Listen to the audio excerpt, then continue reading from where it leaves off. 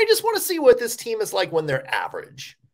Like yes. I just want to see the average team. Like I want to see an average year from Matt Duchene. I want to see an average year from Ryan Johansen. I don't necessarily need to see like that 90 point performance every single year, but I also don't want to see the stretch where you're like on pace for 30 points either. Like yes. just give me something right in the middle. Like give me give me what your career average is. Do that with every player on this Preds team, and then I want to see where we are as a team. It's just show us who you are in jeans and a t-shirt. Yeah. Don't need to see you in a tux. Don't need to see you in your workout clothes. Show me who you are in jeans and a t-shirt.